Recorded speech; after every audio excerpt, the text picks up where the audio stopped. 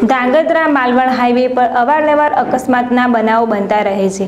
ત્યારે આજે વહેલી સવારે ધાંગધ્રા હાઈવે કલ્પના ચોકડી પર પાસે કચ્છ તરફથી આવતા તેલ ભરેલું ટેન્કર અચાનક પલટી જતા હાઈવે પર તેલ પથરાઈ ગયું હતું.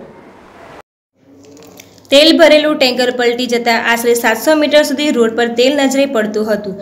જ્યારે ટેન્કર પલટી જતા રોડની સાઈડમાં આવેલા ખાડા તેલથી ભરાઈ ગયા હતા. રાહદારીઓ દ્વારા ટેન્કર પલટી જવાનો લાભ લઈ ને તેલના ભરેલા ખાડામાંથી તેલ ઘર ભેગું કરવા પડાપડી જોવા મળી હતી. આ તરફ ટેન્કર ચાલક વહેલી સવારે પોતાના સ્ટેરિંગ પરથી કાબુ ગુમાવવા ટેન્કર પલટી ગયું હોવાનું જોવા મળ્યું છે. લોકો દ્વારા તેલ ઘર ભેગું કરવાનો મોકો જોઈ તેલના વાસણો ભર્યા હતા. જો કે કાચું તેલ હોવાથી લોકોના કોઈ કામમાં ઉપયોગમાં આવે તેમ ન હતું. પણ હજારો લીટર રોડ પર પથરાયેલા તેલને ખાબોચિયામાંથી લોકો તેલ ભેગું કરી ઘર ભેગું કરતા હતા. ધર્મેશ રબારી ઝેડસ ટીવી, ધાંગધ્રા.